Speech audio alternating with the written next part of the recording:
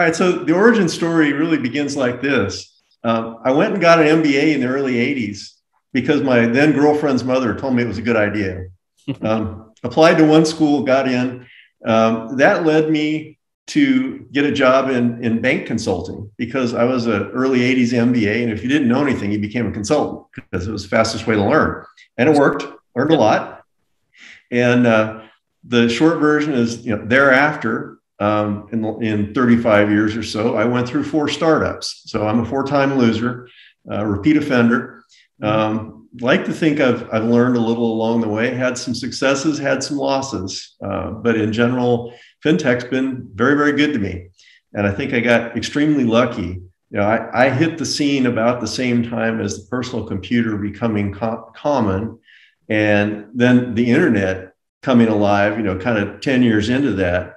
So I, my timing was very, very fortunate and I got to ride the wave for a long time. Cool. Okay. I'm interested to hear your thoughts, Steve, because everybody talks about fintech like it's some new thing. It's brand new, but I mean, what the cores have been around since like the 50s, you know? I mean, and I mean, online banking, especially think about payments and cards and ATMs. I mean, you're going back 30, 40 years, right?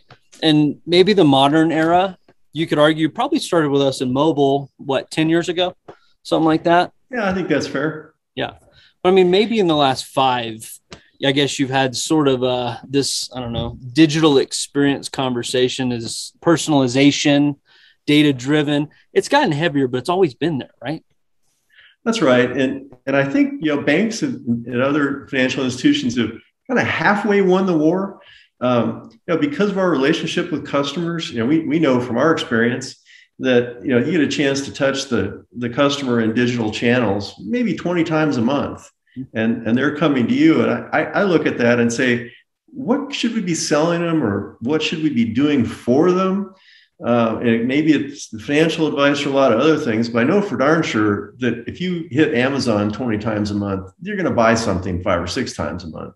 Yep we should be thinking about how we do that in our world because it, the, the bankers have done the hard part. They've got people coming. And, and the question is now what? That's a great point. I, I think to that though it's weird for me because I think the the common answer out there from everybody is buzzwords. It's digital transformation, it's personalization, it's data driven analytics, right? But there's not a lot of detail as to what all of that exactly means, right? It's just more like consultant buzzwords. So I think I'm with you, but we got to get a little more tactical. You know? Yeah, we do. And, and I kind of like to go back to, to old school banking and you know, ask yourself, you know, if, if you rewind to pre ATM days, uh, when you actually had to go in the bank to make a deposit or make a withdrawal, you know, you probably had that same customer coming to the bank, maybe not 20 times a month, but maybe 10 if they're in a business, or maybe 20 if they're in a business and we're doing a daily business deposit. And ask, ask yourself, if they walked into your physical branch that often, what, what should we be doing for them? And the answer may be as simple as get me in and out quickly. Don't show me a long teller line because that's going to aggravate me. I mean, it may be really simple. Just focus on make it faster, easier, more comfortable. But then the you know the question comes, what, what's the value add? What can we do to help? And I'll say this, guys. I got a heck of a relationship with my phone. It's super personal. It's on your person all the time but it's a lot different than my relationship with you guys, right? And I mean, you guys are the guys I talk to about business stuff, right? And I think a lot of bankers, that's especially community banks, that's long been a theme. So I'm not sure how to replace that or if it should be replaced. I have one little story that kind of you know illustrates what you're saying at multiple levels. So my my uh, younger daughter, you know, mid 20s, a couple years into her her career, uh, professional person, and she's going to go buy her first new car. And so, you know, her dad tells her, sweetheart, you, you, need to get three or four bids to make sure you're, you know, getting the right price, not being taken advantage of, all that kind of thing, like dads do. And so she went to credit union at her work, and she went to Chase Bank, um, where, where she banks, and talked to the, the auto dealer about a loan. And she's a little unusual. She'd saved her money, had a pretty good down payment. So this was going to be a good loan for somebody. And the credit union said, Well, thank you very much for coming in. Here's a stack of paper. Take it home, fill it out, and come back when you're done. We'll help you. And her reaction to that was, don't hand me stacks of paper. You know, I'm a 20 something, I don't do stacks of paper. And Chase, you know, they were very polite to her, really more so than the credit union, and, and said, well, ma'am, you know, we, we only do auto loans online. You know, here's the URL. Um, if you have any problems, just call us. Mm-hmm. And she actually liked that better because at least she could sit down and not have to mess with paper. And then she walked in and talked to the auto dealer. And they said to her, Well, you know, here's the paperwork in front of you. Those other guys are offering you somewhere between three and 4% loans. We'll do one for a point and a half, sign here. Mm-hmm. Guess who got the deal? Yeah. Yep. And, and so, you know, it's kind of interesting because you, you missed capturing that young person that we all say we want. Mm-hmm. Um, you offended her with paperwork. You probably could have got her with the online if the price was right. And the auto dealer provided personal service and a good price. And the scary part to me is I would bet that Chase branch and, and the credit union branch would tell you that they do a really good job for their customers and members, and they're really in touch with their population. And she was in and out of there. They missed a lifetime opportunity, and no one knew it. Steve, let me ask you a question.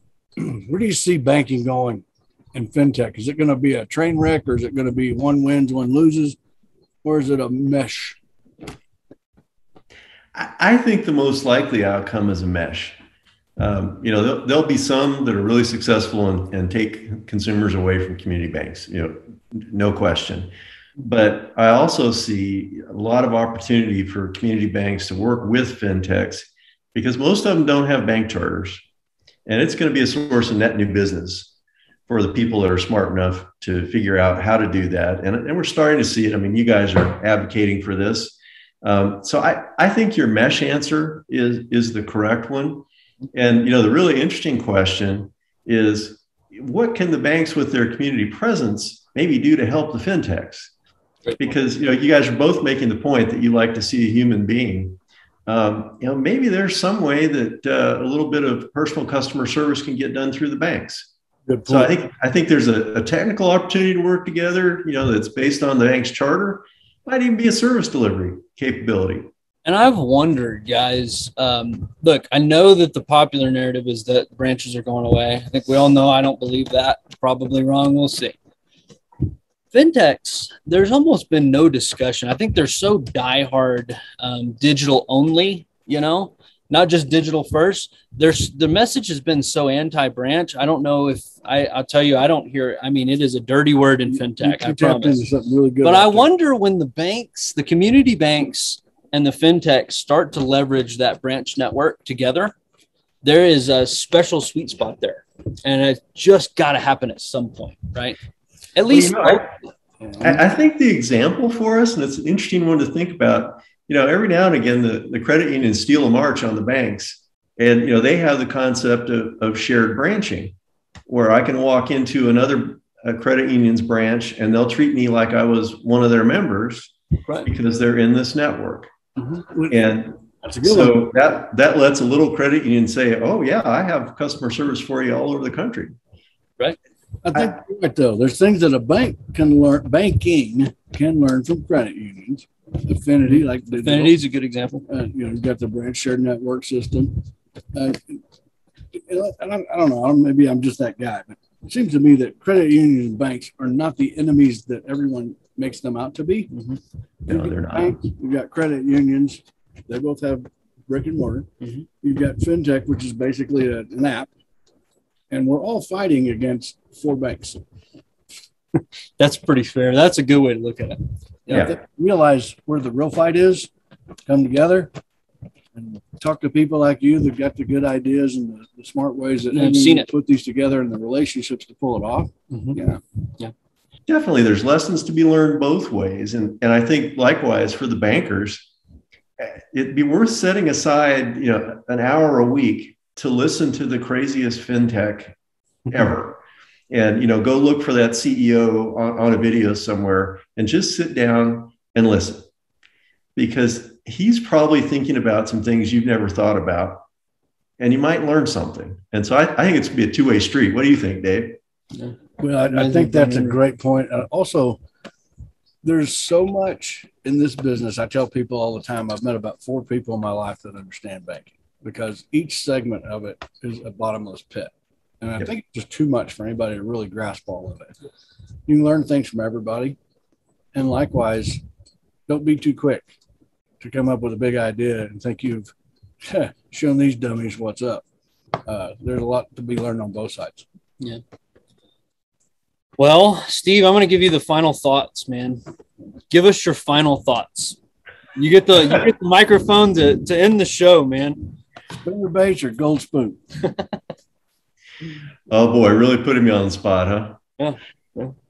Well, I, I would say the, probably the final thought is, you know, for a community banker, look at your real strength in customer service. You know, a- avoid the trap of saying, "Well, I'll just work hard on that and it'll save me," and say, "How am I going to employ what I know in this new world? How am I going to put that old knowledge to work like it.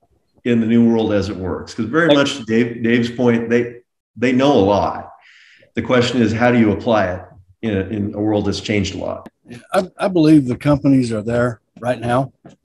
We we talk to all of them all the time, and I think it's connecting the right parties together. Mhm. And that's kind of I don't know what what you call that. That's what Steve does. yeah, a connector, right? but, uh, Steve- he's a That's connector. Steve's He's job, connector Yeah. guy. So yeah, having that ability to understand the technology, understand what the banker's trying to get done, and understand the customer base, and have lived enough to where you're not just guessing with a big chest poked out. Yeah. You actually have some experience under your belt, and you know what you're talking about. And I think in that complexity, there's very few people that should be listened to, and unfortunately, they're listening to the wrong people, and they ought to be listening to people like you. Thank you and, and agreed. Hey, thanks for riding with the FinTech Cowboys. Hey, gentlemen. See you, buddy.